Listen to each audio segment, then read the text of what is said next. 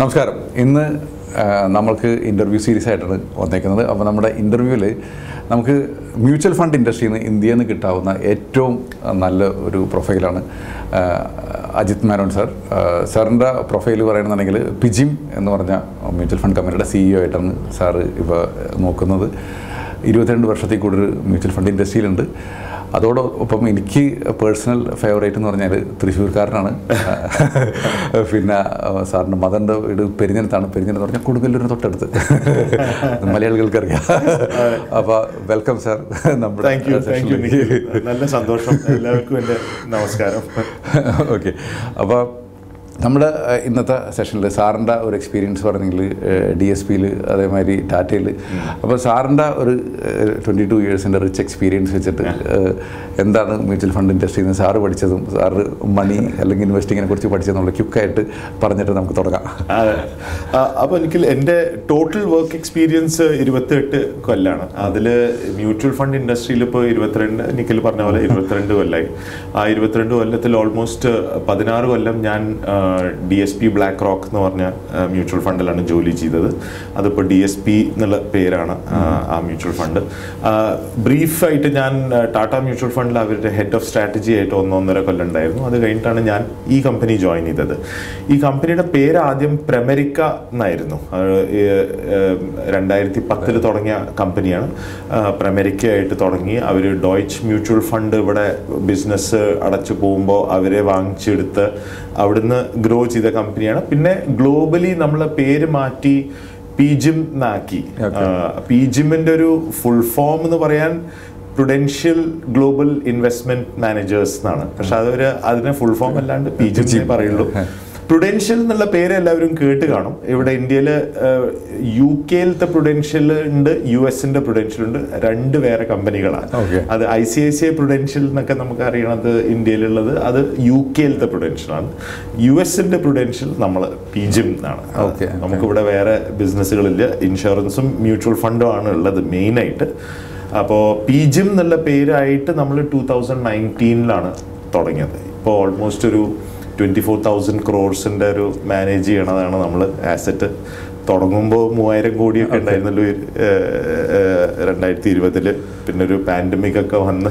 അത് കഴിഞ്ഞ് നമ്മൾ നല്ല ഗ്രോത്ത് വെച്ച് ഇപ്പോൾ ഒരു ട്വന്റി ഫോർ തൗസൻഡ് ഓക്കെ ഇപ്പോൾ പിജിമിനെ പറ്റി പറയണമെന്നുണ്ടെങ്കിൽ ഇപ്പോൾ ലോകത്തിൽ തന്നെ ബെസ്റ്റ് ടോപ്പ് പത്തിൽ പെട്ട ഒരു ഫണ്ട് ഹൗസാണ് അപ്പോൾ ഇതിലത്തെ ഏറ്റവും വലിയൊരു കാര്യം എന്ന് പറഞ്ഞു കഴിഞ്ഞാൽ നിങ്ങൾക്ക് പത്ത് ഇരുപത് താഴെ പതിനെട്ടോളം കൺട്രീസിലാണ് പ്രസൻസ് ഉള്ളത്. അപ്പോൾ ഈ പിജിം ഇന്ത്യയിൽ വന്നതിനെ പറ്റിയിട്ട് പറയുകയാണെങ്കിലും അതേപോലെ തന്നെ ഇന്ത്യ എന്ന് പറഞ്ഞ രാജ്യം ഇക്വിറ്റി മാർക്കറ്റിനെ അല്ലെങ്കിൽ ഇൻവെസ്റ്റ്മെന്റിനെ എത്ര ഇമ്പോർട്ടന്റ് ആയിട്ട് ലോകം കാണുന്നു എന്നൊന്ന് സാറ് പറയണമെങ്കിൽ വളരെ പീജിം ഞാൻ പറഞ്ഞ പോലെ രണ്ടായിരത്തി പത്തിൽ തുടങ്ങിയതാണ് ഇവിടെ ബിസിനസ് തുടങ്ങിയത്. അതിന്റെ മുമ്പേ അവരുടെ ഫോക്കസ് കുറേം കൂടി യു എസും ഡെവലപ്ഡ് ആയിട്ടുള്ള മാർക്കറ്റ്സിലാണ് ഉണ്ടായിരുന്നത്. നൂറ്റി നാൽപ്പത്തഞ്ച് കൊല്ലം ആയ കമ്പനിയാണ് പ്രൊഡൻഷ്യൽ യു എസിന്റെ ഈ പ്രൊഡൻഷ്യൽ നമ്മൾ ഈ പീജിം എന്ന് പറയണത്. അപ്പോൾ അവരുടെ ഒരു ഒരു കാഴ്ച എന്താ വെച്ചാൽ നമ്മൾ ഈ നൂറ്റി നാൽപ്പത്തഞ്ച് കൊല്ലം ഗ്രോ ചെയ്തത് ഡെവലപ്ഡ് ആയിട്ടുള്ള മാർക്കറ്റ്സിലാണ് ഇനി വരണ നൂറ്റി നാൽപ്പതോ നൂറ്റി അമ്പതോ കൊല്ലം എവിടെയാണ് ഗ്രോത്ത് ഉണ്ട് എന്ന് ചോദിച്ചു കഴിഞ്ഞു കഴിഞ്ഞാൽ അത് ഏഷ്യയിലും ചൈനയിലും ഇന്ത്യയിലൊക്കെയാണ് ഗ്രോത്ത്. നമുക്ക് ഇന്ത്യനെ പറ്റിയിട്ട് അറിയാം നമ്മൾ വേൾഡിൽ തന്നെ ഒരു യങ്ങസ്റ്റ് കൺട്രിയാണ് അപ്പോൾ ഒരു ഫൈനാൻസ് പ്രൊഫഷണലിന്റെ ഒരു സ്ട്രാറ്റജി വെച്ച് നമ്മൾ നോക്കുകയാണെന്ന് വെച്ചാൽ ബാക്കിയുള്ള ലോകത്തിലുള്ള ബാക്കിയുള്ള പ്രദേശങ്ങളൊക്കെ വയസ്സായി തുടങ്ങി. വയസ്സായി തുടങ്ങുന്ന ആൾക്കാർ നമ്മുടെ കോർപ്പസിന് കാശ് എടുക്കുക ചെയ്യുക യങ് ആയിട്ടുള്ള ആൾക്കാരാണ് പുതിയ കോർപ്പസ് ഉണ്ടാക്കി ഇൻവെസ്റ്റ് ചെയ്യുക അപ്പൊ അങ്ങനെ ഒരു വലിയൊരു ഓപ്പർച്യൂണിറ്റിയാണ് ഇന്ത്യ. കാരണം നല്ലൊരു യങ് കൺട്രിയാണ് നല്ലോണം പുരോ പുരോഗമിക്കേണ്ടത് നമ്മളെ ഇക്കണോമി നന്നായി പോണു. റിലേറ്റീവായിട്ട് എല്ലാവർക്കും അറിയാം ഇന്ന് ലോകത്തിലെ ഏറ്റവും നല്ല ഗ്രോത്ത് റേറ്റ് നമ്മുടെ ഇന്ത്യയിലാണ്. അപ്പോൾ അതൊക്കെ വെച്ചൊരു ഓപ്പർച്യൂണിറ്റി വെച്ച് നല്ലൊരു ടീം കിട്ടുക എന്നുള്ള ഒരു അഡ്വാന്റേജും ഉണ്ട്. പി ജിമ്മിന് നല്ല പ്രൊഫഷണൽസ് ആയിട്ടുള്ള ആൾക്കാർ നമ്മുടെ ഇന്ത്യയിലത്തെ പി ജിം ടീം വളരെ നല്ല ഒരു ടീമാണ്. ആ ഒരു കോൺഫിഡൻസോട് കൂടെ അവർ നല്ലോണം ഇൻവെസ്റ്റ് ചെയ്യുന്നുണ്ട് ഇന്ത്യയിൽ ഓക്കെ. അപ്പോൾ ആ ഒരു ഓപ്പർച്യൂണിറ്റി എക്സ്പ്ലോർ ചെയ്യാം. ഓക്കെ. ഇതിൽ ശരിക്കും വൺ പോയിന്റ് ത്രീ ട്രില്യൺ ആണ് ഇപ്പോൾ നിങ്ങളുടെ ഈ അതെ വൺ പോയിന്റ് ത്രീ ട്രില്യൺ ആണ്. അതിപ്പോ ഒരു ഈ റഷ്യ യുക്രൈൻ വാറൊക്കെ വെച്ചിട്ട് കുറച്ചൊന്ന് കമ്മി അയക്കണതാണ് ഗ്ലോബലി ആസറ്റ് കമ്മിയായുണ്ട് വൺ പോയിന്റ് ഫൈവ് ട്രില്യൺ ഉണ്ടായിരുന്നതാണ്. പിന്നെ ലോകത്തിലുള്ള നിക്കിൽ നിഖിൽ പറഞ്ഞ പോലെ ടോപ്പ് ടെന്നിലുള്ള ആസറ്റ് മാനേജ്മെന്റ് ആസറ്റ് മാനേജ്മെന്റ് കമ്പനിയാണ് മ്യൂച്വൽ ഫണ്ട് കമ്പനിയാണ് ടോപ്പ് നയനിൽ ആരും ഇല്ല ഇന്ത്യയിൽ ഇപ്പോൾ ഈ ഇന്ത്യയിൽ നിന്ന് സമയത്ത്. വേറെ ആൾക്കാരും ആരുമില്ല. വേറെയില്ല. അപ്പൊ അങ്ങനെ ഒരു ടെക്നിക്കൽ പോയിന്റ് വെച്ച് നോക്കിക്കഴിഞ്ഞാൽ ഏറ്റവും വലിയ മ്യൂച്വൽ ഫണ്ട് ബ്രാൻഡ് ഇന്ത്യയിൽ. അങ്ങനെ. Okay okay very good okay thank you ഞാൻ സാറിന്റെ പി ജി എമ്മിന്റെ വെബ്സൈറ്റിലൊക്കെ ഞാൻ നോക്കുമ്പോൾ ഒത്തിരി എനിക്ക് ഭയങ്കര ഇഷ്ടമായത് മണി ആൻഡ് മീ എന്ന് പറഞ്ഞ ഒരു കണ്ടന്റ് ഏരിയ കണ്ടു. പിന്നെ റിട്ടയർമെന്റിനെ കുറിച്ചിട്ട് നമ്മൾ കുറേ പറഞ്ഞു. അപ്പോൾ അത് ആദ്യത്തത് മണി ആൻഡ് മീയിൽ പറയുന്നുണ്ടെങ്കിൽ ഡിഫറെന്റ് ഏജ് ഗ്രൂപ്പിന് ഡിഫറെന്റ് ഇൻവെസ്റ്റ്മെന്റ് അങ്ങനത്തെ കുറേ കണ്ടന്റുകൾ കൊടുത്തിട്ടുണ്ട്. അപ്പോൾ സാറിന്റെ ഒരു അഭിപ്രായത്തിൽ എപ്പോഴും ഒരു ഇൻവെസ്റ്റ്മെന്റ് എന്ന് പറഞ്ഞാൽ എല്ലാം യൂണീക്ക് ആയിരിക്കും. അപ്പോൾ ഡിഫറെന്റ് ഏജ് ഗ്രൂപ്പിന് അല്ലെങ്കിൽ ഡിഫറെന്റ് ടൈപ്സ് ഓഫ് ആളുകൾക്ക് എന്തുകൊണ്ട് വ്യത്യസ്തമായിട്ട് ഇൻവെസ്റ്റ് ചെയ്യണം എന്നുള്ള സാർ ഒന്ന് പറഞ്ഞു തുടങ്ങി കഴിഞ്ഞാൽ നന്നായിരിക്കും. അതെ. നിഖിൽ നമ്മുടെ ഒരു ഞാൻ ഉണ്ടല്ലോ നമ്മുടെ ഇൻവെസ്റ്റ് ചെയ്യുക കാശൊക്കെ ഇൻവെസ്റ്റ് ചെയ്യുക എന്ന് ചോദിച്ചു കഴിഞ്ഞാൽ ആദ്യം നമുക്കറിയണം നമ്മൾ അതിനെക്കുറിച്ച് ഇത്രയും പേടിക്കണതും അതിനെ കു- കുറിച്ചുള്ള ആങ്സൈറ്റി എവിടുന്നാണ് എന്നുള്ള ഒരു പ്രശ്നം നമുക്ക് ആൻസർ ചെയ്യണം. അത് എന്നോട് ചോദിച്ചു കഴിഞ്ഞാൽ നാല് റീസൺ ഉണ്ട്. നമുക്കൊരു ഫൈനാൻഷ്യൽ ആങ്സൈറ്റി വരുന്നത്. എന്നിട്ട് അതിന്റെ ഞാൻ ആൻസർ തരാം. ഒന്ന് ലോകത്തിലെവിടെയും കുട്ടികളെ കാശിനെ പറ്റിയിട്ടോ ഹെൽത്തിനെ പറ്റിയിട്ടോ പഠിപ്പിക്കില്ല. ഹെൽത്തും വെൽത്ത്. ഈ ഒരു ഒരു ഏതൊരു അഡൾട്ടിനോടും ഏറ്റവും ആവശ്യപ്പെട്ട ഒരു കാര്യമാണ് ഹെൽത്തും വെൽത്തും. അത് സ്കൂൾസിൽ പഠിപ്പിക്കില്ല. പൈത്തഗോറസ് തീരും പഠിപ്പിച്ചോളൂ. പക്ഷെ ഹെൽത്തിനും വെൽത്തിനും.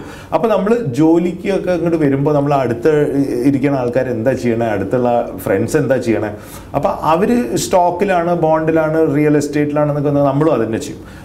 പക്ഷെ നിഖിൽ പറഞ്ഞ പോലെ പേഴ്സണൽ ഫൈനാൻസ് ഇസ് പേഴ്സണൽ നമ്മുടെ വീട്ടിലുള്ള സാഹചര്യം നമ്മുടെ വീട്ടിലുള്ള വയസ്സായിട്ടുള്ള ആൾക്കാർ കുട്ടികൾ പഠിക്കാൻ പോണ കുട്ടികൾ ഉണ്ടാകുമ്പോൾ നമ്മൾ ആ യുണീക്ക് വെച്ചിട്ട് നോക്കണം. യുണീക്നെസ് വെച്ച് നോക്കണം. രണ്ടാമത്തെ പ്രശ്നം എന്താ വെച്ചാൽ ഇന്ത്യയിൽ നമ്മുടെ ഒരു വീട്ടിൽ ഒരു അച്ഛനും അമ്മയും ജോലി ചെയ്ത് കിട്ടുന്ന വരുമാനത്തിന്റെ മുകളിലുള്ള റൂൾസും റെഗുലേഷൻസും നാല് റെഗുലേറ്റർ ഉണ്ടാകണം. ആർ ബി ഐ ബാങ്കിന്റെ ആയി സെബി ഇൻവെസ്റ്റ്മെന്റിന്റെ ആയി ഇർഡ ഇൻഷുറൻസിന്റെ ആയി P F R D A പെൻഷന്റെ ആയി ഒരു വീട്ടിൽ അവർക്ക് എല്ലാതും വേണം. ലോണും വേണം ബില്ലും വേണം എന്താ പറയുക ഇൻഷുറൻസ് വേണം. അത് നമുക്ക് ഒരു സ്ഥലത്ത് കിട്ടാനുള്ള ഒരു സാഹചര്യം കമ്മിയാണ്. അതുകൊണ്ടും ഒരു ഒരു ചാലഞ്ച് ഉണ്ട്. മൂന്നാമത് ആണ് നമ്മുടെ ഇന്നത്തെ ഈ ചർച്ച. മീഡിയയിലുള്ള ആൾക്കാർക്ക് ജനറൽ ആയിട്ട് വർത്തമാനം പറയാൻ പറ്റുള്ളൂ. നമ്മളൊരു എക്സ്പേർട്ടായിട്ട്. അതുകൊണ്ട് ഒരു അഡ്വൈസറിനെ കണ്ട് നമ്മളൊരു പേഴ്സണൽ ഏത് ഏജ് ഗ്രൂപ്പിലായാലും ഏത് സാഹചര്യം ആയാലും അതിനെ പറ്റിയിട്ടുള്ള ഒരു യുണീക്ക് ആയിട്ടുള്ള എന്താണ് നമ്മുടെ റിസ്ക്കും റിക്വയർമെന്റും എന്നുള്ളത് ഒരു അഡ്വൈസറെ കണ്ടിട്ടേ നമുക്ക് എക്സാക്റ്റ് ആയിട്ട് അറിയാൻ പറ്റുള്ളൂ. Okay okay okay. ഇതിൽ ഞാൻ ശരിക്കും സാറിന് ഞാൻ ഫസ്റ്റ് കാണുന്നത് ബോംബെയിൽ വെച്ചിട്ട് സാറ് റിട്ടയർമെന്റ് സർവേനെ കുറിച്ചിട്ട് ഒരു പ്രസന്റേഷൻ കൊടുക്കുന്നത് ഞാൻ കണ്ടിട്ടുള്ളത്. അപ്പോൾ റിട്ടയർമെന്റിന് ഭയങ്കരമായിട്ട് നിങ്ങൾ പി ജിമ്മിൽ നന്നായിട്ട് ടൂ തൗസൻഡ് ട്വന്റിയിലാണ് നമ്മൾ സ്റ്റഡി അതെ. നടത്തിയത്. രണ്ടാമത്തെ സ്റ്റഡി ഈ ജാനുവരിയിൽ പബ്ലിഷ് ആവും. ആ ആ ഓൾറെഡി നടന്ന് കഴിഞ്ഞു. ഓക്കെ അപ്പോൾ അതിൽ കുറേ എനിക്ക് ഒരു പതിമൂന്ന് കാര്യങ്ങൾ എന്തൊക്കെ പറഞ്ഞിട്ടുണ്ട്. അപ്പോൾ അതിനെ വെച്ച് നോക്കുമ്പോൾ നമ്മൾ ഇന്ത്യ എന്ന് പറഞ്ഞ രാജ്യം റിട്ടയർമെന്റ് എന്തുമാത്രം റെഡിയായി എന്നുള്ളതിനെ കുറിച്ചിട്ട് സാർ പറയാമോ? അത് ഞാൻ അത് പറയുമ്പോൾ ഞാൻ നിഖിൽ ഇത് പറയട്ടെ ഞാൻ one of the few CEOs ആണ് ഞാൻ സ്വന്തം ഇൻവെസ്റ്റ് ഒന്നും ചെയ്യില്ല കേട്ടോ. എന്റെ അഡ്വൈസർ ഉണ്ട്. പതിനഞ്ചു അതെനിക്ക് പതിനഞ്ച് കൊല്ലമായിട്ട് എന്റെ അഡ്വൈസർ ഉണ്ട്. എന്റെ കുട്ടികൾക്ക് വേണ്ടിയിട്ടുള്ളതും നമ്മുടെ വീടിന്റെ ആവശ്യത്തിന് വേണ്ടിയിട്ടുള്ളതും എന്റെ റിട്ടയർമെന്റ് എന്റെയും എന്റെ ഭാര്യയുടെയും റിട്ടയർമെന്റിന് വേണ്ടിയിട്ടുള്ള കാര്യങ്ങളൊക്കെ ഒരു ഒരു അഡ്വൈസറാണ് നോക്കി നടത്തുന്നത്. അത് ഞാൻ എല്ലാ കൊല്ലവും അവരുടെ കൂടെ രണ്ടു പ്രാവശ്യം ഇരുന്ന് റിവ്യൂ ഒക്കെ ചെയ്യും. റിവ്യൂ ചെയ്യും. പക്ഷേ ആ ഫുൾ കൺട്രോൾ ആ അഡ്വൈസറിനെ ഞാൻ ട്രസ്റ്റ് ചെയ്തും കൊണ്ടാണ് നടക്കുന്നത്. കാരണം അങ്ങനെ അങ്ങനെ ശരിക്കും നമുക്ക് പ്ലാൻ ചെയ്യാൻ പറ്റുള്ളൂ നമ്മുടെ കാശാകുമ്പോൾ നമ്മൾ ഭയങ്കര ഇമോഷണൽ അറ്റാച്ച്മെന്റ് ആദ്യം സാറ് ഫുള്ള് ഡാറ്റ ക്രഞ്ചിങ്ങിനൊക്കെ ഉള്ള എല്ലാ ഇൻഫർമേഷനും സാറ് കൊടുത്താ. ആ- ആ കൊടുക്കേണ്ട ഒരു അഡ്വൈസർ ആകുമ്പോൾ അത് കൊടുക്കേണ്ട ആവശ്യമില്ല. ആ അഡ്വൈസർ നമുക്ക് എടുക്കുന്ന പ്രശ്നങ്ങൾ നമ്മളെ ഹൗസ് ഹോൾഡ് ബഡ്ജറ്റിംഗ് എങ്ങനെ ചെയ്യണം? ഹൗസ് ഹോൾഡ് ബഡ്ജറ്റിംഗ് കഴിഞ്ഞു കഴിഞ്ഞാൽ ആദ്യത്തെ റൂൾ ഇൻഷുറൻസ് ആണ്. അത് ഇൻഷുറൻസ് ചെയ്യുക. പിന്നെ ഒരു എമർജൻസി ഫണ്ട് ചെയ്യുക. അത് കഴിഞ്ഞിട്ട് ബാക്കി വരുന്ന കാശ് കൊണ്ട് നമ്മൾ ഇൻവെസ്റ്റ് ചെയ്യുക. ഈ റൂൾ മറക്കാൻ പാടില്ല. നമ്മൾ എടുത്തു ചാടാൻ പാടില്ല. ഹൗസ് ഹോൾഡ് ബഡ്ജറ്റിംഗ് ചെയ്യുക. ബഡ്ജറ്റിംഗ് ചെയ്തിട്ട് എത്രയാണ് സേവിംഗ് എന്ന് അറിയുക. ആ സേവിംഗിന് ആദ്യം ഇൻഷുറൻസ് എടുക്കുക. ലൈഫും ഹെൽത്തും ഇത് രണ്ടും കവർ ചെയ്ത് കഴിഞ്ഞിട്ട് ഒരു എമർജൻസി ഫണ്ട് തുടങ്ങുക. ഒരു ആറ് മാസത്തിലുള്ള നമുക്ക് വരുന്ന പൈസ. എത്രയാണ് എക്സ്പെൻസീവ് വീട്ടിൽ വരുന്നത് വെച്ചാൽ ഒരു ആറ് മാസം ഒരു കൊല്ലത്തിന്റെ എക്സ്പെൻസ് നമ്മൾ ഫിക്സ്ഡ് ഡിപ്പോസിറ്റിലോ ഏതെങ്കിലും ഒരു നല്ല ഫണ്ടിൽ സേഫ് ആയിട്ടുള്ള ഫണ്ടിൽ അത് കഴിഞ്ഞിട്ടുള്ള സർപ്ലസ് വരുമ്പോഴാണ് നമ്മൾ ഈ ഇൻവെസ്റ്റ്മെന്റ്സ് ഒക്കെ ചെയ്യാൻ പാടുള്ളൂ എന്നുള്ളത്. അപ്പോൾ അത് ഒരു റൂൾ വെച്ചിട്ടാണ് ഞാനും. എന്റെ ഇൻവെസ്റ്റ്മെന്റ്സ് ഒക്കെ ഞാൻ മാനേജ് ചെയ്യണത്. റിട്ടയർമെന്റിനെ പറ്റി പറഞ്ഞത് ഞാൻ ഞാൻ ഒരു ഒരേ ഒരു ലൈനിൽ ഞാൻ പറയാം. അത് കഴിഞ്ഞ് നമുക്ക് കുറേം കൂടി എക്സ്പ്ലോർ ചെയ്യാം. നമുക്ക് നമ്മുടെ ഒരു ഒരു വീട്ടിലുള്ള എല്ലാം ഫിനാൻഷ്യൽ ഗോൾസ് വെച്ച് നോക്കിക്കഴിഞ്ഞാൽ നമ്മളെ കുട്ടികളെ പഠിപ്പിക്കുക. അവരെ ചിലപ്പോൾ ഇന്ത്യയിലാവാം ചിലപ്പോൾ പുറത്താവാം. വീട് വാങ്ങിക്കുക വണ്ടി വാങ്ങിക്കുക റിട്ടയർ ആവുക ഒരു ബിസിനസ് തുടങ്ങുക. ഇങ്ങനെയൊക്കെയുള്ള പല ഫിനാൻഷ്യൽ ഗോൾസും കൊണ്ടാണ് നമ്മുടെ ജീവിതം നമ്മൾ ജീവിക്കുന്നത്. എല്ലാ ഫിനാൻഷ്യൽ ഗോൾസിലും നമുക്ക് ലോൺ കിട്ടും. റിട്ടയർമെന്റിന് മാത്രം. ലോൺ ഇല്ല. ഈ റിവേഴ്സ് മോഡ്ഗേജ് എന്ന് പറഞ്ഞ ചില പ്രൊഡക്റ്റ് ഒക്കെ ഉണ്ട് വെസ്റ്റേൺ വേൾഡിലൊക്കെ ഉണ്ട്. ഇന്ത്യയിൽ അത് അത്ര അങ്ങോട്ട് മെച്ചുവർ ആയിട്ടില്ല പ്രൊഡക്റ്റ് അപ്പോൾ നമ്മൾ അതൊരു പോയിന്റ് മാത്രം വെച്ച് നോക്കിക്കഴിഞ്ഞാൽ ഈ റിട്ടയർമെന്റിനെ കുറിച്ച് നമുക്ക് എല്ലാവർക്കും ഒരു ഇന്ത്യയിൽ ഫോക്കസ് കുറച്ചും കൂടി വേണം.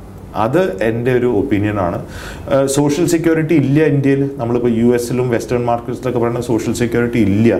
അത് അപ്പോൾ ആ ഒരു ചുമതല ആ ഒരു റെസ്പോൺസിബിലിറ്റി റിട്ടയർമെന്റിനോട് കൂടെ നമ്മുടെ കുട്ടികളുടെ എല്ലാ റിക്വയർമെന്റ്സിന്റെ പാരലായിട്ട് റിട്ടയർമെന്റിന് മുകളിൽ എത്രയും വേഗം ഫോക്കസ് ചെയ്യുക.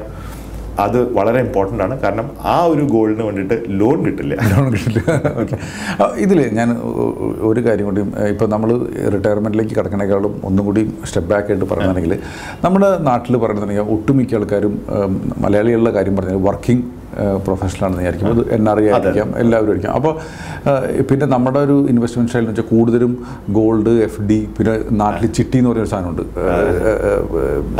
ചിറ്റ് ഫണ്ട്സ് പിന്നെ റിയൽ എസ്റ്റേറ്റ് ഇതൊക്കെയാണ് അവർ ഇൻവെസ്റ്റ് ചെയ്യുന്നത് അപ്പോൾ ഒരു സാറും മലയാളി കൾച്ചർ വന്നിട്ടുള്ള ആളാണ് പക്ഷേ പേരൻസ് ബോംബെയിലൊക്കെ ആയിരുന്നുണ്ടാവും. പക്ഷേ അപ്പോൾ അങ്ങനെ നോക്കുകയാണെങ്കിൽ എന്താണ് നമ്മുടെ ഒരു മലയാളി കൾച്ചറിന്റെ ഈ ടൈപ്പ് ഓഫ് അസറ്റ്സിൽ മാത്രം നിൽക്കണതിന്റെ പ്രോസ് ആൻഡ് കോൺസ് സാറിന്റെ ഒരു ഒപ്പീനിയൻ എന്താണ്? എല്ലാ ഇൻവെസ്റ്റ്മെൻസും നിഖിൽ ഒരു ഒരു ഒരു ജനറേഷന്റെ കോണ്ടെക്സ്റ്റും വരും. ഒരു ഹിസ്റ്ററിയുടെ കോണ്ടെക്സ്റ്റും വരും. നമ്മൾ ഇന്ത്യയിൽ അത്രയും റിച്ച് ആയിട്ടുള്ള കൺട്രി അല്ല. നമ്മളൊരു ഇപ്പോഴും ഒരു മിഡിൽ ക്ലാസ് കൺട്രി എന്നായിട്ടാണല്ലോ ലോകത്തിലെല്ലാവരും നമ്മളെ നോക്കണത്.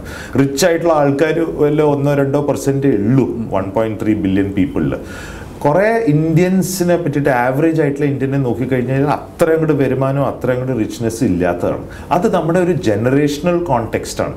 ആ ഒരു ജനറേഷണൽ പഴയ ജനറേഷൻ കോണ്ടെക്സ്റ്റ് വെച്ച് നോക്കിക്കഴിഞ്ഞ് കഴിഞ്ഞാൽ നമുക്ക് ഏറ്റവും സേഫ്റ്റി ആയിട്ട് തോന്നിക്കുന്നത് ലാൻഡാണ് അത് കഴിഞ്ഞാൽ സ്വർണമാണ് കാരണം ഇന്ത്യയിൽ ഇൻഫ്ലേഷൻ കുറേ പിടിച്ചു നിന്നിട്ടുണ്ട് പണ്ടത്തെ കൊല്ലത്തിലൊക്കെ. ഇൻഫ്ലേഷൻ ഒരു ഏത് കൺട്രിയിലായാലും ഇൻഫ്ലേഷന്റെ അർത്ഥം. നമുക്ക് തൊടാൻ പറ്റുന്ന കാര്യങ്ങളൊക്കെ അപ്രീഷിയേറ്റ് ചെയ്യും. ഇൻഫ്ലേഷൻ ഉണ്ട് വെച്ചാൽ. ഇൻഫ്ലേഷൻ ഇല്ല വെച്ചാൽ തൊടാൻ പറ്റാത്ത കാര്യങ്ങളാണ് കൂടുക. അപ്പോൾ ഇന്ത്യയിൽ കുറേ കൊല്ലമായിട്ട് ഇൻഫ്ലേഷൻ നല്ലൊരു പീക്കിൽ നിൽക്കണ ഒരു പത്ത് പത്ത് പെർസെന്റ് ഒമ്പത് പെർസെന്റ് എട്ട് പെർസെന്റ് ഒക്കെ ഉള്ള ഇൻഫ്ലേഷനാണ് ആ അങ്ങനെ നോക്കുമ്പോൾ ഗോൾഡും റിയൽ എസ്റ്റേറ്റും നല്ല അപ്രിസിയേഷൻ തരും. പക്ഷെ രണ്ടായിരത്തി പതിനഞ്ചിൽ രഘുരാം രാജനും ജെയ്റ്റ്ലിയും ഒക്കെ കൂടെ നമ്മുടെ ആർ ബി ഐ ഇന്ത്യയിലത്തെ സെൻട്രൽ ബാങ്കിന്റെ പോളിസി ചേഞ്ച് ചെയ്ത് ഇൻഫ്ലേഷൻ ടാർഗറ്റ് ചെയ്ത് സി പി ഐ എന്ന് വെച്ച് കഴിഞ്ഞാൽ കൺസ്യൂമേഴ്സിനെ നമ്മുടെ ഉള്ള നിവേശകർക്കും എല്ലാവർക്കും ഇമ്പാക്റ്റ് ചെയ്യുന്ന ഇൻഫ്ലേഷനെ കൺട്രോൾ ചെയ്യുക ഫോർ പെർസെന്റ് പ്ലസ് മൈനസ് ടൂവിലേക്ക് കൺട്രോൾ ചെയ്യുക എന്നുള്ള ഒരു റൂൾ വെച്ചിട്ട് ടൂ തൗസൻഡ് ഫിഫ്റ്റീൻ മുതലാണ് അങ്ങനെ ഒരു പുതിയ ഒരു അപ്രോച്ച് ഇന്ത്യയിൽ തുടങ്ങിയത്. അത് കൺട്രോൾ ചെയ്ത് കഴിഞ്ഞിട്ട് നിങ്ങൾ ഒന്ന് കുറച്ച് നമ്മളൊന്ന് ആലോചിച്ചാൽ മതി. ടൂ തൗസൻഡ് ഫിഫ്റ്റീൻ കഴിഞ്ഞിട്ട് റിയൽ എസ്റ്റേറ്റും ഗോൾഡിലും റിട്ടേൺ ഉണ്ടായി അത് ഇപ്പൊ പോയിട്ടാണ് ഇപ്പൊ ഒരു ലോകത്തിലൊക്കെ ഒരു ഇൻഫ്ലേഷൻ കുറച്ച് കൂടണമെന്ന് കേട്ടിട്ട് ഒരു റിയൽ എസ്റ്റേറ്റിന് ഇൻട്രസ്റ്റ് വരുന്നത്. അപ്പോൾ എന്റെ കണക്കിൽ ഒരു ഈ നമ്മുടെ മലയാളികളായാലും ഇന്ത്യയിൽ വേറെയുള്ള ഇൻവെസ്റ്റേഴ്സ് ആയാലും ഈ ഗോൾഡും റിയൽ എസ്റ്റേറ്റിനോടുള്ളത് കമ്പം നമ്മുടെ ഒരു ഇൻട്രസ്റ്റ് ഇൻഫ്ലേഷന്റെ കണക്ഷനാണ് അത്. നമുക്ക് അറിയാത്തതാണ് ആ ഇൻഫ്ലേഷൻ ഇന്ന് കൺട്രോളിലുണ്ട് നമ്മുടെ ആർ ബി ഐ ചെയ്തിരിക്കുന്നത്. അതാണ് ഫൈനാൻഷ്യൽ ആസറ്റ്സ് കൂടെയും കൂടി കയറി വന്നിക്കണത് ഇപ്പോൾ ഓക്കെ ഓക്കെ. അപ്പോൾ ഇവൻ വേറെ ഒരു കാര്യം കൂടി പറഞ്ഞാൽ ഇപ്പോൾ ചിലപ്പോൾ ചില ആൾക്കാർക്ക് ശമ്പളം കിട്ടിയ ടൈമിൽ ഫസ്റ്റ് ശമ്പളം കിട്ടിയ ചിലപ്പോൾ ഒരു ഫിഫ്റ്റീൻ തൗസൻഡ് ആണെന്ന് വിചാരിക്കും. പത്ത് വർഷം കഴിഞ്ഞിട്ട് അയാൾ അയാളുടെ പത്ത് വർഷം കഴിഞ്ഞിട്ട് അല്ലെങ്കിൽ ഒരു പതിനഞ്ച് വർഷം കഴിഞ്ഞിട്ട് ചിലപ്പോൾ ഇത് ടെൻ ടൈംസ് ആയിട്ടുണ്ടാവും. ഇപ്പോൾ അദ്ദേഹം ഇരിക്കുന്നത് ചിലപ്പോൾ ടു ലാക്കിലോ ത്രീ ലാക്കിലോ ആയിരിക്കും.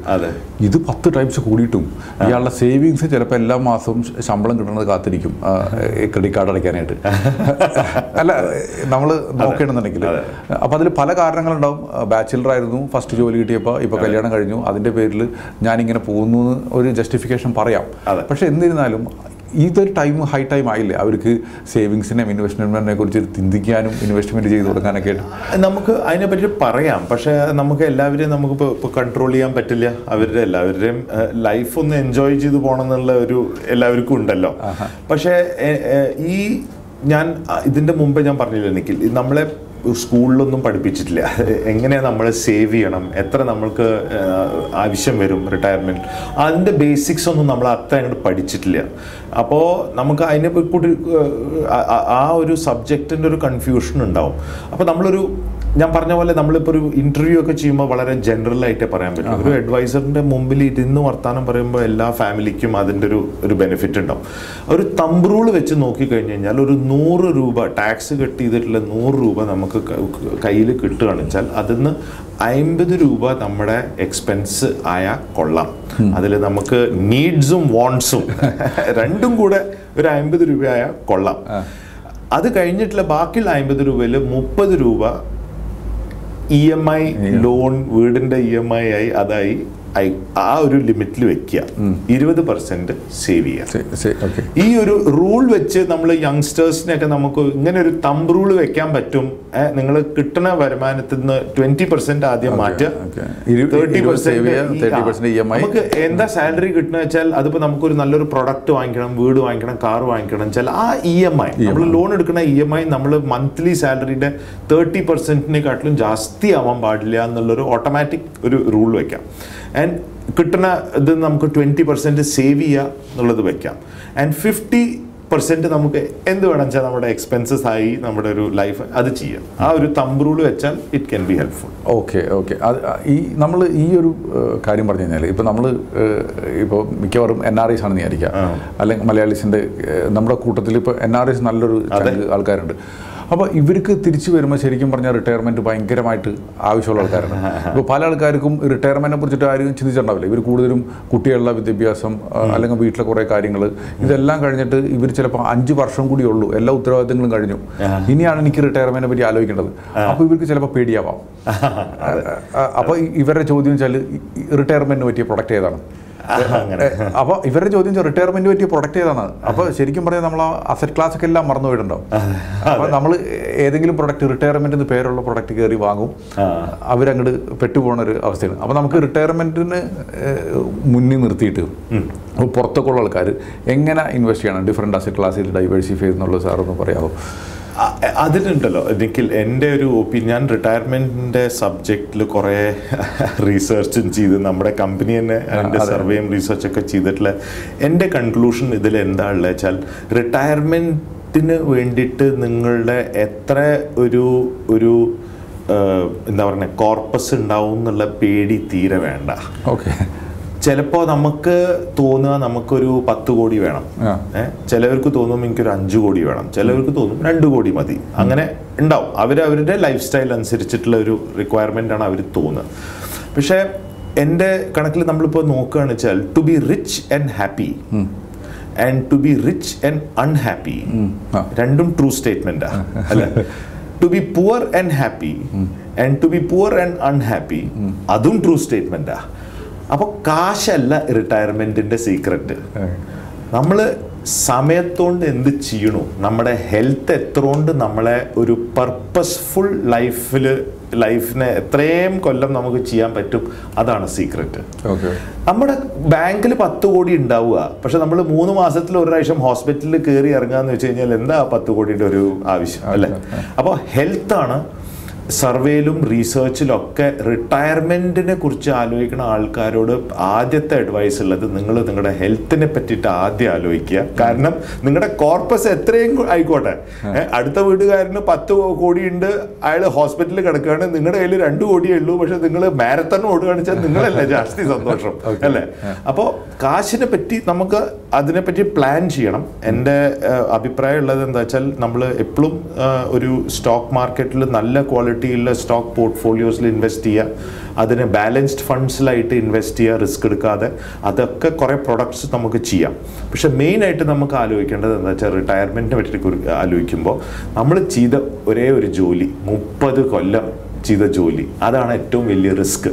കാരണം നമ്മൾ ഒന്നും ചെയ്യാതെ ഇരിക്കുന്ന സമയത്ത് ആദ്യത്തെ ആറുമാസം നന്നാവും.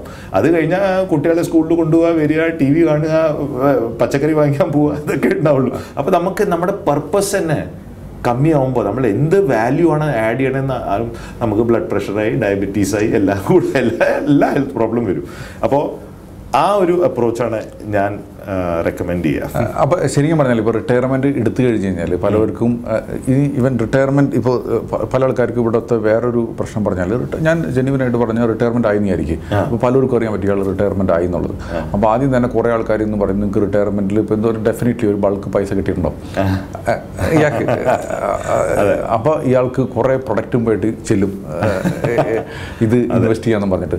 അപ്പോൾ ഇയാൾ ഇത്രയും നാളും ഭയങ്കര ആത്മാർത്ഥമായിട്ട് ജോലിയിൽ ശ്രദ്ധിച്ചിരുന്ന ആളാണെങ്കിൽ ഇയാൾക്ക് ഈ പ്രൊഡക്റ്റിനെ പറ്റി ഒന്നും അറിയാൻ പറ്റില്ല. അപ്പൊ അപ്പോൾ ഇയാ ഇങ്ങനത്തെ ഒരാൾക്ക് ശരിക്കും പറഞ്ഞാൽ ആക്ച്വലി ഹീ സിറ്റിംഗ് ഇയാൾ ഇരിക്കുന്നതിന്റെ ഒരു സിറ്റുവേഷൻ വെച്ചാൽ ലോട്ടറി അടിച്ച ഒരു സിറ്റുവേഷനിൽ ഇരിക്കുന്നത്. കാരണം പൾക്ക് മണി കയ്യിലിരിക്കുക. അപ്പോൾ ഇങ്ങനത്തെ ഒരു ആൾക്കാർക്കാണെങ്കിൽ പോസ്റ്റ് റിട്ടയർമെന്റിൽ എങ്ങനെ ഇൻവെസ്റ്റ് ചെയ്യണം? അതിനെ കുറിച്ചൊന്ന് അതിനെക്കുറിച്ചൊന്ന് സാറ് പറഞ്ഞു കഴിഞ്ഞാൽ നന്നായിരിക്കും. രണ്ടേ രണ്ട് റിസ്ക് ഓർമ്മ വയ്ക്കുക കോൺസെൻട്രേഷൻ റിസ്ക് പാടില്ല. രണ്ടാമത്തത് ലോക്കിൻ ചെയ്ത പ്രൊഡക്ട്സിൽ എത്രയും നമുക്ക് അവോയ്ഡ് ചെയ്യാൻ പറ്റും വെച്ചാൽ അവോയ്ഡ് ചെയ്യാം. ലോക്കിനുള്ള പ്രോഡക്റ്റ് ഈ രണ്ട് കാര്യം മാത്രം ആലോചിച്ചാൽ മതി. കോൺസെൻട്രേഷൻ കോൺസെൻട്രേഷൻ റിസ്ക് എടുക്കാൻ പാടില്ല. കഴിഞ്ഞാൽ കോൺസെൻട്രേഷൻ റിസ്ക് എന്ന് വെച്ച് കഴിഞ്ഞാൽ നമ്മൾക്കുള്ള കാശ് മുഴുവൻ നമ്മൾ രണ്ട് കമേഴ്ഷ്യൽ ബിൽഡിംഗിൽ ഇട്ടിട്ട് അതിന്റെ റെന്റ് വരട്ടെ എന്നുള്ള ആലോചിച്ച് കഴിഞ്ഞിട്ട് നമ്മൾ എടുക്കുക. വല്ല അടുത്തുവയ്ക്കൊക്കെ വന്നു കഴിഞ്ഞാൽ എല്ലാം പൊടിഞ്ഞു പോകും. ഇൻഷുറൻസ് വേണം. പക്ഷെ കോൺസെൻട്രേഷൻ റിസ്ക് ഉണ്ടാവാണ്ടിരിക്കുക. കാശെല്ലാം എഫ് ഡിയിൽ വല്ല ബാങ്കിലും ഉപയോഗിക്കുക കാശെല്ലാം നമ്മൾ വല്ല റിയൽ എസ്റ്റേറ്റിലും ഇടുക. അത് കോൺസെൻട്രേഷൻ ആണ് അത് ചെയ്യാൻ പാടില്ല. എത്രയും നമുക്ക് ഓരോരോ ഡിഫറെന്റ് ഡിഫറെന്റ് ആസറ്റ് ക്ലാസ് ഗോൾഡായി എക്വിറ്റിയായി ബോണ്ടായി കറൻസിയായി റിയൽ എസ്റ്റേറ്റ് ആയി എല്ലാത്തിലും സ്പ്രെഡ് ചെയ്യുക. അത് റൂൾ നമ്പർ വൺ രണ്ടാമത്തെ റിസ്ക് ലോക്ക് ഇൻ ചെയ്ത പ്രൊഡക്ട്സിൽ എത്രയും പറ്റും അവോയ്ഡ് ചെയ്യുക. നമുക്ക് എപ്പോൾ കാശ് വേണം തിരിച്ച് കിട്ടാൻ പറ്റിയ പ്രൊഡക്ട്സിൽ മാത്രമേ ഇടാൻ പറ്റുള്ളൂ അറ്റ് ദ സെയിം ടൈം നമ്മളിപ്പോൾ പ്രൈം മിനിസ്റ്ററിന്റെ ചില യോജനകളുണ്ട്. സീനിയർ സിറ്റിസൻസിന് വേണ്ടിയിട്ട് നല്ല ഹൈ ഇൻട്രസ്റ്റ് റേറ്റ് തരുന്നത്. അതിന്റെ ഒരു ക്യാപ്പ് ഉണ്ട്. ഫിഫ്റ്റീൻ ലാക്സ് പെർ പേഴ്സൺ അപ്പോൾ ഹസ്ബൻഡും വൈഫും ഫിഫ്റ്റീൻ ഫിഫ്റ്റീൻ ലാക്സ് ആയിട്ട് കിടാം. അതിൽ നല്ല ഇൻട്രസ്റ്റ് റേറ്റ് കിട്ടും. അത് അതിൽ നമുക്ക് ഇടാം. അത് കാരണം അതൊരു ഒരു ഫിഫ്റ്റീൻ ഇയേഴ്സിന്റെ ഒരു പ്രൊഡക്റ്റാണ് അങ്ങനെ. അത് കഴിഞ്ഞിട്ടുള്ള വേറെ ലോക്കിൻ ആയിട്ടുള്ള പ്രൊഡക്ട്സിലൊന്നും ഇടാൻ പാടില്ല. നമുക്ക് എത്രയും ഓപ്പൺ ആവും പറ്റിച്ച ചെയ്യാം. അങ്ങനെ അത് ഞാൻ റൂൾ നമ്പർ വൺ എന്ന് പറയും. അങ്ങനെ രണ്ടു കൂടി റൂൾസ് ഉണ്ട്. ഓക്കെ അപ്പോൾ ഈ എന്താണ് വേറെ അടുത്തൊരു ഒരു റൂൾ നമ്മൾ ശ്രദ്ധിക്കേണ്ടത്? ഒരു റിട്ടയർമെന്റ് എന്നുള്ള ഒരു പോയിന്റ് ഓഫ് വ്യൂവിൽ കിടക്കുമ്പോൾ കാരണം വെച്ചാൽ പലർക്കും റിട്ടയർമെന്റ് എന്ന് പറയുന്ന ടൈമിൽ ഒന്നാമത്തെ കാര്യം ഇവർക്ക് കൺഫ്യൂഷനാണ് പിന്നെ അടുത്ത കാര്യം വെച്ചാൽ എസ്പെഷ്യലി നമ്മുടെ ആൾക്കാർക്കുള്ള ഒരു കാര്യം വെച്ചാൽ ഒരു അഡ്വൈസർ അടുത്ത് പോകണോ കാരണം ഇത്രയും നാൾ ഞാൻ പോയിട്ടില്ല. അപ്പോൾ ഇനി ഞാൻ എങ്ങനെ പോകും അങ്ങനത്തെ ഒരു കൺസേൺ പിന്നെ അടുത്ത ഒരു വലിയൊരു കോൺഫിഡൻസ് എന്ന് വെച്ചാൽ നമ്മൾ കുട്ടികളിൽ അങ്ങോട്ട് ഇൻവെസ്റ്റ് ചെയ്യും. ചിലപ്പോൾ ചില ആൾക്കാർ ഈ കിട്ടുന്ന പൈസ മൊത്തം ഭാഗം വെച്ചിട്ട് ആർക്കാണെന്ന് വെച്ചാൽ കൊടുക്കും. അപ്പം കുട്ടി അപ്പോൾ ഏത് ടൈമിൽ നമ്മുടെ പൈസ ഹാൻഡ് ഓവർ ചെയ്യാം അടുത്ത ആൾക്കാർക്ക്? ഈ ബില്ല് എഴുതുന്നതിനെ പറ്റി അത് അതൊക്കെ ഇമ്പോർട്ടന്റ് ആണ്. എന്റെ ഒരു റെക്കമെൻഡേഷൻ ഉള്ളത് എന്താ വെച്ചാൽ നമ്മൾ ജോലി ചെയ്തുകൊണ്ടിരിക്കുക. എത്രയും പറ്റും വെച്ചാൽ നമ്മൾ ഒരു ചെറിയൊരു വരുമാനം whatever it might be നമ്മളൊരു കോളേജിൽ പ്രൊഫസറായി നമ്മൾ വല്ല ബോൺസായി ഉണ്ടാക്കി നമ്മൾ വല്ല കൃഷി ചെയ്തു. എന്താ ചെയ്താലും നമ്മളൊരു ഓക്യുപ്പൈഡ് ആയിട്ട് ഇരിക്കുക ഞാൻ പറഞ്ഞ പോലത്തെ ഫസ്റ്റ് റിസ്ക് നമ്മൾ നമ്മുടെ സമയം എങ്ങനെ യൂസ് ചെയ്യണോ നമ്മുടെ ഹെൽത്ത് എങ്ങനെ ഉണ്ട് എന്നുള്ളത് നമ്മളൊരു പർപ്പസ്ഫുൾ ആയിട്ട് ഇരിക്കുക ആണ് റിട്ടയർമെന്റിന് rule number one rule number two ഉള്ളത് എന്താ വെച്ചാൽ നമുക്ക് കിട്ടണ നമുക്കൊരു കോർപ്പസോ നമുക്കൊരു നിക്കിൽ പറഞ്ഞ പോലെ ലോട്ടറി പോലെ നമുക്കൊരു ഒരു ലംസം കിട്ടുമ്പോൾ അതിനെ മൂന്ന് ബക്കറ്റായിട്ട് ആലോചിക്കുക. മൂന്ന് ബക്കറ്റ് എങ്ങനെയാണെന്ന് വെച്ചാൽ പത്ത് പത്ത് കൊല്ലത്തിന്റെ ബക്കറ്റായിട്ട് ആലോചിക്കുക.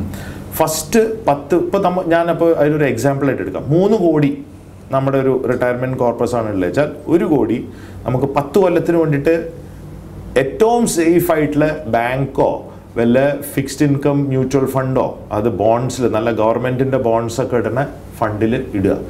അതിന്നാണ് നമ്മൾ പത്ത് കൊല്ലം ആദ്യത്തെ പത്ത് കൊല്ലം അതിന്നാണ് നമ്മൾ പതുക്കെ പതുക്കെ നമ്മുടെ ഒരു ഇൻകം എടുക്കാൻ പോണത്. നെക്സ്റ്റ് പത്ത് കൊല്ലം കാരണം നമ്മളൊരു മുപ്പത് കൊല്ലം റിട്ടയർമെന്റ് പ്ലാൻ ചെയ്യാണ് ഇപ്പോൾ നെക്സ്റ്റ് പത്ത് കൊല്ലത്തിന്റെ ബക്കറ്റ് എന്ന് ചോദിച്ചു കഴിഞ്ഞാൽ അതിൽ ബാലൻസ്ഡ് ഫണ്ട്സ് മ്യൂച്വൽ ഫണ്ടിലൊക്കെ ഉള്ള പോലെ കുറെ ബാലൻസ്ഡ് ഫണ്ട്സ് ഉണ്ട്. അതിൽ എക്വിറ്റി കുറച്ചും നല്ല ഗവൺമെന്റിന്റെ ബോൺസും നല്ല സേഫ് ആയിട്ടുള്ള കാര്യങ്ങളാണ് ജാസ്തി. അങ്ങനത്തെ ഫണ്ട്സ് സെലക്ട് ചെയ്തിട്ട് രണ്ടാമത്തെ ബക്കറ്റിൽ ഇടുക. അത് നെക്സ്റ്റ് പത്ത് കൊല്ലത്തിന് വേണ്ടിയിട്ട്. ലാസ്റ്റ് നിങ്ങളുടെ റിട്ടയർമെന്റ് കഴിഞ്ഞിട്ടുള്ള ലാസ്റ്റ് മുപ്പത് കൊല്ലം ലാസ്റ്റ് ടെൻ ഇയേഴ്സിന് വേണ്ടിയിട്ടുള്ള നല്ല ഹൈ ക്വാളിറ്റി സ്റ്റോക്സിന്റെ പോർട്ട്ഫോളിയോ ഇടുക. Okay okay. അത് എന്താ വെച്ചാലുണ്ടല്ലോ ആ ഇപ്പോൾ ആ മുപ്പത് ലാസ്റ്റ് ബക്കറ്റ് ഇല്ലേ? അവിടെ എത്തുമ്പോഴേക്കും ഇരുപത് കൊല്ലം കഴിഞ്ഞു. ഇരുപത് കൊല്ലം കഴിഞ്ഞിട്ടുള്ള ലോകത്തിൽ ഏത് നോക്കിയാലും എക്വിറ്റി ഇൻവെസ്റ്റ്മെന്റ്സ് ഡബിൾ ട്രിബിൾ ആയിട്ടുണ്ടാവും. ആയിട്ട്. അപ്പൊ നമുക്ക് ഒരിക്കലും ഒരു സിറ്റുവേഷൻ നമുക്ക് കാശില്ലാത്ത സിറ്റുവേഷൻ ഉണ്ടാവില്ല. നമുക്ക് സന്തോഷത്തോടു കൂടെ കുട്ടികൾക്ക് എന്ത് വേണമെന്ന് വെച്ചാൽ കാർ വാങ്ങിച്ചു കൊടുക്കുക. നമ്മുടെ വയസ്സകാലത്ത് കാലത്ത് നമ്മൾ അവരെ സപ്പോർട്ട്. ചെയ്യുക അവരുടെ കാര്യങ്ങൾ നോക്കുക. എന്നിട്ട് നമ്മൾ എപ്പോഴെത്ര ലൈഫ് കഴിയണം വെച്ചാൽ ബാക്കിയുള്ളത് വില്ല വില്ല എഴുതി വെക്കുക എന്നുള്ളതാണ്.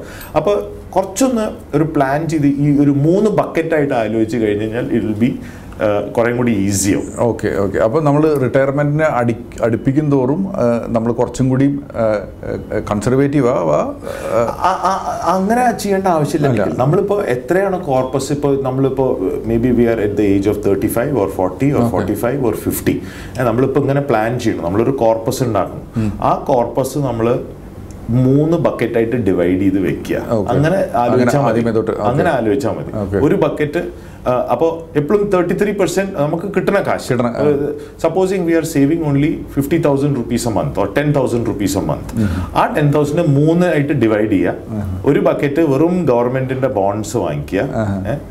ഒരു ബ- ഒരു തേർട്ടി ത്രീ പെർസെന്റ് നമ്മൾ ബാലൻസ്ഡ് ഫണ്ട്സ് വാങ്ങിക്കുക. ലാസ്റ്റ് തേർട്ടി ത്രീ പെർസെന്റ് നമ്മൾ എക്വിറ്റി വാങ്ങിക്കുക. അത് എത്രയും കൊല്ലം നമുക്ക് ചെയ്യാൻ പറ്റും വെച്ചാൽ ചെയ്തുകൊണ്ടിരിക്കുക എപ്പോഴാണ് നമുക്ക് റിട്ടയർ ചെയ്യേണ്ടത് വെച്ചാൽ നിങ്ങൾക്ക് റിട്ടയർ ചെയ്യാം. ഒരു കുഴപ്പമില്ല. അതിന് വേണ്ടിയിട്ട് ഡേറ്റ് ഒന്നും ആലോചിക്കേണ്ട ആവശ്യമില്ല. കുറച്ചൊരു കോർപ്പസ് നമുക്കൊരു എക്സ്പെൻസിന്റെ ഒരു ഇത് വേണം. നമ്മൾ അതിനെ കാൽക്കുലേറ്റ് ചെയ്യുമ്പോൾ എങ്ങനെയാണ് കാൽക്കുലേറ്റ് ചെയ്യുക വെച്ചാൽ നമ്മളിപ്പോൾ ഒരു ഒരു ഒരു റൂൾ ഓഫ് സെവന്റി ടു ഉണ്ട്. സെവന്റി ടുനെ നമ്മൾ നമ്പർ ഒരു മാജിക് നമ്പർ ആയിട്ട് എടുത്തു കഴിഞ്ഞാൽ എന്ത് നമുക്ക് ഇൻട്രസ്റ്റ് റേറ്റ് എടുത്തു കഴിഞ്ഞാൽ നമുക്കറിയാം എത്ര കൊല്ലത്തിലാണ് നമ്മുടെ കാശ് ഡബിൾ ആവുക എന്നുള്ളത്.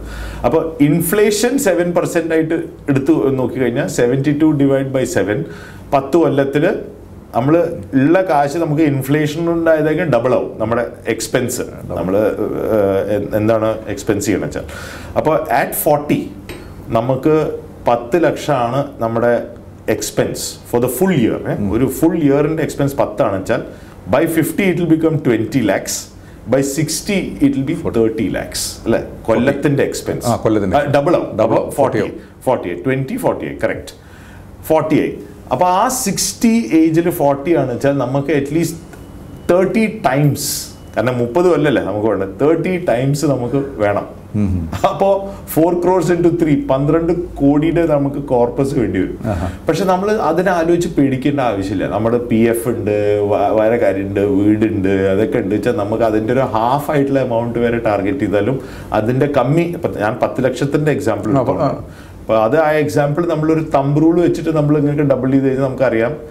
റിട്ടയർ ചെയ്യണ സമയത്ത് മുപ്പത് കൊല്ലത്തിന്റെ കാശ് ആ എക്സ്പെൻസിനെ തേർട്ടി കൊണ്ട് മൾട്ടിപ്ലൈ ചെയ്ത അത്ര ഒരു കോർപ്പസ് വേണം. കോർപ്പസ് അത്രേ ഉള്ളൂ. ഇത് പൊതുവെ നമ്മുടെ ഒരു കുറച്ചും കൂടി മെച്ചുവേർഡ് ആയിട്ടുള്ള ഒട്ടുമിക്ക ആൾക്കാർക്കും ഇത് ഇത്തിരി ഏർലി സ്റ്റാർട്ട് ചെയ്യാൻ ഡെഫിനറ്റ്ലി പറ്റും.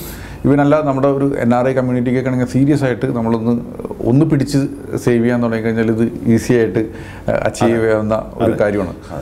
പിന്നെ നമ്മൾ എൻ ആർ ഐയിലൊക്കെ പലപ്പോഴും ഞാൻ വേറൊരു കാര്യം കണ്ടിട്ടുള്ളൂ കണ്ടിട്ടുണ്ട്. ഇതും കൂടി പറഞ്ഞിട്ട് നമുക്ക് ക്ലോസിങ്ങിലേക്ക് കിടക്കാം. ഇതിൽ ഒരു കാര്യം വെച്ചാൽ ഇപ്പോൾ പലവരും നമ്മുടെ അതിൽ കുറേ ലോക്കിൻ പ്രൊഡക്റ്റുകളുണ്ട്. അല്ലാന്നുണ്ടെങ്കിൽ അതിൽ തന്നെ വേറെ കുറേ ഇൻഷുറൻസ് പ്രൊഡക്റ്റുകളുണ്ട്. അവർ പലരും ചിന്തിക്കുന്ന കാര്യം വെച്ചാൽ ഡോളറിന്റെയും കറൻസിയുടെയും വില കുറഞ്ഞും കൂടിയിരിക്കുകയാണ്. അപ്പോൾ ഇവർ ചെന്നിട്ട് പറയും പറയും അതിൽ അവിടെ പോയിട്ട് ഇൻവെസ്റ്റ് ചെയ്യണത് ഒന്ന് ലോക്കിൻ പ്രൊഡക്റ്റ് ആയിരിക്കും. പിന്നെ അതിൽ ബോണ്ടിലായിരിക്കും ഇൻവെസ്റ്റ് ചെയ്യണത്. അപ്പോൾ ശരിക്കും പറഞ്ഞാൽ ഡോളറിന്റെ അപ്രീസിയേഷൻ മാത്രമേ ഉള്ളൂ. പക്ഷെ അവിടെ മാർക്കറ്റ് അങ്ങനെ ആവുന്നില്ല. ഇവർ ഇവർ അൺനെസസറി ആയിട്ട് അത് ചെയ്യല്ലേ? അപ്പോൾ അങ്ങനത്തെ ടൈമിൽ അതിനൊരു പ്രതിവിധിയായിട്ട് നമ്മൾ എങ്ങനെ ഇക്വിറ്റി മാർക്കറ്റിൽ ഇൻവെസ്റ്റ് ചെയ്യാമെന്നൊന്ന് ഒന്ന് പറയാമോ എന്റെ നിഖിൽ അതിന്റെ എന്റെ ഒരു റെക്കമെൻഡേഷൻ എന്താണെന്ന് വെച്ചാൽ ആദ്യം നമ്മൾ എക്വിറ്റി എന്നുള്ളൊരു ശബ്ദം വേർഡ് കേൾക്കുമ്പോൾ തന്നെ കുറേ ആൾക്കാർ പേടിക്കും. ഈ എക്വിറ്റിയിൽ ഭയങ്കര റിസ്ക് ആണ് മുകളിലേക്കും താഴത്തേക്കും പോണു എന്നുള്ളതിലായിട്ട് എക്വിറ്റീന്റെ എന്റെ ഒരു പെർസ്പെക്റ്റീവ് എന്താണെന്ന് വെച്ചാൽ ലോകത്തിൽ മനുഷ്യന്മാരുടെ നമ്മൾ പുരോഗമിക്കുന്നത് നമ്മുടെ പ്രോഗ്രസ്സിനെ ക്യാപ്ചർ ചെയ്യണ ഒരേ ഒരു ആസറ്റ് ക്ലാസ് ആണ് എക്വിറ്റി വെച്ച് കഴിഞ്ഞാൽ നമുക്ക് കോവിഡ് വന്നു. കോവിഡിന്റെ വാക്സിൻ ആരോ അതിനെ സയന്റിസ്റ്റ് അതിനെ കണ്ടുപിടിച്ചു. അത് കമ്പനി പ്രോഫിറ്റ് ഉണ്ടാക്കി ആ കമ്പനി സ്റ്റോക്ക് മാർക്കറ്റിലുണ്ട് അപ്പൊ നമുക്ക് മനുഷ്യനായിട്ടുള്ള നമുക്കുള്ള ചാലഞ്ചസ് ഒക്കെ ലോകത്തിൽ വരുന്നതിന്റെ ആൻസർ ഏതെങ്കിലും ഒരു സയന്റിസ്റ്റ് എവിടെയെങ്കിലും കണ്ടുപിടിച്ചു കഴിഞ്ഞാൽ അതിന്റെ പ്രോഫിറ്റ് ഉണ്ടാക്കാൻ ഒരു കമ്പനി ഉണ്ടാവും. അപ്പൊ നമ്മുടെ ഹ്യൂമൻ പ്രോഗ്രസിനെ ക്യാപ്ചർ ചെയ്യണ ഒരേ ഒരു ഇൻവെസ്റ്റ്മെന്റ് ആണ് എക്വിറ്റി ഓക്കെ ഇത് ഗോൾഡിലില്ല. റിയൽ എസ്റ്റേറ്റിലില്ല കറൻസിയിലില്ല ബോണ്ടിലില്ല ഒന്നിലുമില്ല എക്വിറ്റിയിൽ മാത്രമേ ഉള്ളൂ. അപ്പോൾ നമുക്ക് ഒരു ഗ്രോത്ത് വേണം. വെച്ചാൽ എക്വിറ്റി നമുക്ക് കുറച്ച് പിടിച്ചു വെക്കണം നമ്മുടെ പോർട്ട്ഫോളിയോയിൽ അത് എത്ര പെർസെന്റേജ് വേണം? എന്ത് ടൈപ്പിലെ ഷെയറോ എക്വിറ്റിയോ പോർട്ട്ഫോളിയോ വേണം എന്നുള്ളൊരു അഡ്വൈസറെ ഒരു കസ്റ്റമറിന് അതിന്റെ ഒരു ആൻസർ കൊടുക്കാൻ പറ്റുള്ളൂ. അപ്പോൾ ഈ മാർക്കറ്റിംഗ് ഒക്കെ കണ്ട് ഈ ലോക്കിൻ ഉള്ള പ്രൊഡക്ട്സിലൊക്കെ കിടന്ന് ചേർ ഈ അങ്ങോട്ട് നമ്മൾ പോയി കഴിഞ്ഞ് കഴിഞ്ഞാൽ അത് വളരെ ഒരു നഷ്ടകരമായ ഒരു സ്ഥിതിയിലേക്കാണ് നമ്മൾ പോണത്. അപ്പം ഞാൻ പറഞ്ഞ പോലെ റിസ്ക് ഉള്ളത് കോൺസെൻട്രേഷനും റിസ്ക് ഉള്ളത് ലോക്കിനും അപ്പം. അതില്ലാത്ത നമ്മൾക്ക് നല്ല ഓപ്പൺ എൻഡഡ് ആയിട്ടുള്ള എക്വിറ്റി മ്യൂച്വൽ ഫണ്ട്സിലൊക്കെ നോക്കിക്കഴിഞ്ഞാൽ നല്ല ഒരു ഇതുണ്ടാവും. അതാണ് എന്റെ ഒരു റെക്കമെൻഡേഷൻ ഉള്ളത് താങ്ക് യു അപ്പോൾ ഇതിൽ ഇനി നമ്മളിപ്പോൾ ഒരു ഇത്രയും നേരം നമ്മൾ കുറേ കാര്യങ്ങൾ ഡിസ്കസ് ചെയ്തു. ഇപ്പോൾ നമ്മൾ റിട്ടയർമെന്റിനെ കുറിച്ചിട്ട് നമ്മൾ കുറച്ചും കൂടി ഡീറ്റെയിൽ ആയിട്ട് നമ്മൾ സംസാരിച്ചു. എസ്പെഷ്യലി എനിക്ക് ഏറ്റവും വളരെ ഒരു ടേക്ക് അവേ ആയിട്ട് എടുക്കാവുന്ന ഒരു കാര്യം വെച്ചാൽ ഇത് പൈസ എത്ര ഉണ്ടെന്നുള്ളതിനേക്കാൾ ഉപരി ആ ഹെൽത്ത് സൂക്ഷിക്കുന്നതിനെ പറ്റിയിട്ടുള്ള ഒരു ഇമ്പോർട്ടന്റ് മെസ്സേജ് തന്നതായിരിക്കും എനിക്ക് തോന്നുന്നത് ഏറ്റവും ഇമ്പോർട്ടന്റ് ആയിട്ടുള്ള കാര്യം. നമ്മൾ ഈ ഒരു കൺസിഡറേഷൻ വെച്ചിട്ട് എന്താണ് ഒരു ഫൈനൽ അഡ്വൈസ് നമ്മുടെ ഒരു ഇൻവെസ്റ്റേഴ്സിന് കൊടുക്കേണ്ടത്? എസ്പെഷ്യലി ഒരു സേവിങ്സിനെയും ഇൻവെസ്റ്റ്മെന്റിനെയൊക്കെ മുന്നിൽ കണ്ടിട്ട് നമ്മുടെ ഒരു കേരള ഓഡിയൻസിന് സാറിന്റെ ഒരു അഡ്വൈസ് എന്താണ്? നമ്മുടെ മുത്തശ്ശിമാർ പറയില്ലേ എല്ലാ മുട്ടയും ഒരു ഒരു കൊട- കുടത്തിൽ ഇടണ്ടെന്നുള്ളത് അത് കുടം പൊട്ടിയ എല്ലാ മുട്ടയും പൊട്ടില്ലേ? അപ്പോൾ നമ്മുടെ ഏറ്റവും സിമ്പിളായിട്ടുള്ള ഏറ്റവും കോമൺ സെൻസ് ആയിട്ടുള്ള ഒരു അഡ്വൈസ് ഉള്ളത് എന്താ വെച്ചാൽ നമ്മളൊരു സേവിങ്സും ഇൻവെസ്റ്റ്മെന്റും ചെയ്യുമ്പോഴും ഒരിക്കലും കോൺസെൻട്രേഷൻ റിസ്ക് എടുക്കാൻ പാടില്ല. നമുക്ക് എത്രയും അതിനെ ഡൈവേഴ്സിഫൈ ചെയ്യാൻ പറ്റും. അതിനെ ഡൈവേഴ്സിഫൈ ചെയ്യുക കാശ് ഉണ്ടാക്കാൻ നിങ്ങൾ ഇന്ന് അമേരിക്കയിലാണോ ദുബായിലാണോ ചൈനയിലാണോ ആഫ്രിക്കയിലാണോ ഇന്ത്യയിലാണോ വെച്ചാലും ഏഴ് തരത്തിലെ കാശ് ഉണ്ടാക്കാൻ പറ്റുള്ളൂ നമുക്ക്. ആ ഏഴ് തരം എന്ന് ചോദിച്ചു കഴിഞ്ഞാൽ എക്വിറ്റി ബോണ്ട് ബോണ്ട്സ് ഗവൺമെന്റിന്റെ bonds gold precious metal diamonds ഒക്കെ ഉള്ളത്. പിന്നെ കമോഡിറ്റി റിയൽ എസ്റ്റേറ്റ് കറൻസി പിന്നെ ഓൾട്ടർനേറ്റ്സ് ഓൾട്ടർനേറ്റ്സ് എന്നുള്ള എന്റെ ഒരു ഒരു സ്വന്തം ഒരു ഡെഫിനേഷൻ ഉള്ളത് എന്താ വെച്ചാൽ കാശ് ഉണ്ടാക്കാം. ഈ ഓൾട്ടർനേറ്റ്സ് എന്ന് പറഞ്ഞ കാര്യത്തിലൊക്കെ നമുക്ക് കാശ് ഇപ്പോൾ നമ്മൾ സേവ് ചെയ്ത് ഇൻവെസ്റ്റ് ചെയ്ത് നമുക്ക് കാശ് ഉണ്ടാക്കാം. പക്ഷേ അതിനെ പറ്റിയിട്ട് നമുക്ക് ഒരു ഇൻഫർമേഷനും കിട്ടില്ല. നമ്മൾ അതിനെ എന്തിനും കമ്പയർ ചെയ്യണം എന്ന് വെച്ച് കഴിഞ്ഞാൽ അതിന്റെ ഇൻഫർമേഷൻ നമുക്ക് ഒരു ഇരുപത് കൊല്ലത്തിന്റെ ഇൻഫർമേഷൻ വേണം. ഇന്ന് ഗോൾഡിന്റെ പ്രൈസ് നമുക്കൊരു മുപ്പത് അറുപത് കൊല്ലത്തിന്റെ പ്രൈസ് ഉണ്ട്. എക്വിറ്റി സ്റ്റോക്സ് ഇൻഡെക്സ് എങ്ങനെ പോയി എന്നുള്ളത് അറുപത് കൊല്ലം റിയൽ എസ്റ്റേറ്റ് എങ്ങനെ റിട്ടേൺസ് ചെയ്തു എന്നുള്ളതുണ്ട് ബിറ്റ് കോയിൻ അറിയോ? എഴുപത് കൊല്ലത്തിന്റെ റിട്ടേൺ അറിയില്ല. അത് ഇപ്പോഴല്ലേ വന്നിട്ടുള്ളൂ. അല്ല എം എഫ് ഹുസൈന്റെ പെയിന്റിങ് നമ്മൾ വാങ്ങിച്ചു. അപ്പോൾ ഈ private equity hedge fund venture capital ഈ സ്റ്റാർട്ടപ്സിലൊക്കെ ഇൻവെസ്റ്റ് ചെയ്യുക. പിന്നെ വൈനിൽ ഇൻവെസ്റ്റ് ചെയ്യുക പെയിന്റിങ്സിൽ ഇൻവെസ്റ്റ് ചെയ്യുക ബിറ്റ് കോയിനിൽ ഇൻവെസ്റ്റ് ചെയ്യുക. ഈ പുതിയ ചില ഈ ഇൻവെസ്റ്റ്മെന്റ് ടൈപ്സും നമുക്ക് ഡേറ്റ ഇല്ലാത്ത ഇൻവെസ്റ്റ്മെന്റ്സ് ആണ് ഓൾട്ടർനേറ്റ്സ്. അപ്പോൾ ഈ ഏഴ് തരത്തിൽ നമുക്ക് കാശുണ്ടാക്കാൻ പറ്റുള്ളൂ. നമ്മൾ ആസ് എൻ ഇൻവെസ്റ്റർ എത്രയും നമുക്ക് സ്പ്രെഡ് ചെയ്യാൻ പറ്റും? അതാണ് ഏറ്റവും ബോട്ടം ലൈനിലുള്ള കോമൺ സെൻസ് ഒരു ഇത് വേണ്ടത്. നമുക്കൊരു ഒബ്ജക്റ്റീവ് വേണ്ടത് നമ്മുടെ കാശിനെ കൊണ്ട്. ഒരിക്കലും എല്ലാ കാശും കൊണ്ട് ബാങ്കിലിടുക എല്ലാ കാശിനെയും കൊണ്ട് റിയൽ എസ്റ്റേറ്റിലേക്ക് എല്ലാ കാശിനെയും കൊണ്ട് ഗോൾഡ് വാങ്ങിക്കുക ഇല്ല എല്ലാ കാശും കൊടുത്ത് ബിറ്റ് കോയിനിലിടുക ഇതല്ല ശരിക്കുള്ള ഒരു അപ്രോച്ച് വേണ്ടത്. എത്രയും ഡൈവേഴ്സിഫൈ ചെയ്യാൻ പറ്റും വെച്ചാൽ ഡൈവേഴ്സിഫൈ ചെയ്യുക ഈ ടി വിയിൽ കാണുന്ന നമ്മളെ പോലത്തെ എക്സ്പേർട്സിനെ ഒക്കെ നമ്മളോട് ചോദിക്കും നീ എന്താ ചൈനയും തൈവാനിനെ എന്ത് പറ്റി? യു എസും റഷ്യയും എന്താവും? ആർക്കും ഒന്നും അറിയില്ല. നമ്മൾ നമ്മുടെ അഡ്വൈസ് ഒക്കെ കൊടുക്കും. പക്ഷെ അതൊക്കെ നമ്മളൊരു ഒരു ഊഹിച്ച് ഇങ്ങനെ പറയണ ശരിയായ ശരിയായി ശരിയായി നമ്മുടെ ഒപ്പീനിയൻ ആയിരിക്കും. ചിലപ്പോൾ ആ സമയത്ത് ഒപ്പീനിയൻ ആയിരിക്കാം. അല്ല? ഞാൻ എന്റെ ഒരു ബോസ് എന്നെ പഠിപ്പിച്ചത് എന്താ വെച്ചാൽ എന്റെ ബോസ് എന്നോട് പറഞ്ഞു ഈ നമ്മളെ എക്സ്പേർട്സ് നമുക്ക് ഈ ഇന്റർവ്യൂ ചെയ്തിട്ടൊക്കെ ഈ ക്വസ്റ്റ്യൻസ് എപ്പോഴും ചോദിക്കുക എത്ര കാശ് ഉണ്ടാക്കാൻ പറ്റും? നെക്സ്റ്റ് ഫൈവ് ഇയേഴ്സ് നെക്സ്റ്റ് പത്ത് കൊല്ലം. അത് നമ്മളൊരു ബ്രോക്കൺ ക്ലോക്കിനെ പോലെയാ. ഒരു ബ്രോക്കൺ ഒരു ഒരു വാച്ചിനെ നമ്മൾ ഇപ്പോൾ പൊട്ടിയ വാച്ചാണെന്ന് വെച്ചാലല്ല ദിവസത്തിൽ രണ്ട് പ്രാവശ്യം സമയം ശരിക്കും പറയുന്നത്. അല്ല? Broken clock shows the correct time twice a day അങ്ങനെയാണ്. ഇപ്പൊ ഞാനൊരു എക്സ്പേർട്ട് ആയിട്ട് ഓ ഇന്ത്യ നന്നാവും ഇന്ത്യ നന്നാവും ഇന്ത്യ നന്നാവും പറഞ്ഞുകൊണ്ടിരുന്നു കഴിഞ്ഞാൽ ഒരു പ്രാവശ്യം നന്നാവുമല്ലോ അല്ല ഇന്ത്യ ആകെ കുളത്തല്ല ഒന്നും അത് പറഞ്ഞുകൊണ്ടിരുന്നു കഴിഞ്ഞാൽ അതും ശരിയാവും. അപ്പൊ നമുക്ക് കൺട്രോൾ ചെയ്യാൻ പറ്റണ കാര്യം മാത്രമേ നമ്മൾ ഫോക്കസ് ചെയ്യാൻ പാടുള്ളൂ. നമുക്ക് കൺട്രോൾ ചെയ്യാൻ പറ്റുന്നത് നമ്മൾ ഇൻവെസ്റ്റ് ചെയ്യണ പ്രോസസ്സ് എന്താ? ഒരിക്കലും കോൺസെൻട്രേറ്റ് ചെയ്യാൻ പാടില്ല. നമ്മൾ റിയൽ എസ്റ്റേറ്റിലും കുറച്ച് വെക്കുക ഗോൾഡിലും വെക്കുക എക്വിറ്റിയിലും വെക്കുക നല്ല ഗവൺമെന്റ് ബോണ്ടിലും വെക്കുക എത്രയും നമുക്ക് സ്പ്രെഡ് ചെയ്യാൻ പറ്റും വെച്ചാൽ നിങ്ങൾക്ക് നിങ്ങളുടെ ഫൈനാൻഷ്യൽ ലൈഫിൽ ഒരിക്കലും ഒരു പ്രശ്നം വരില്ല. ഓക്കെ അത്രേ ഉള്ളൂ.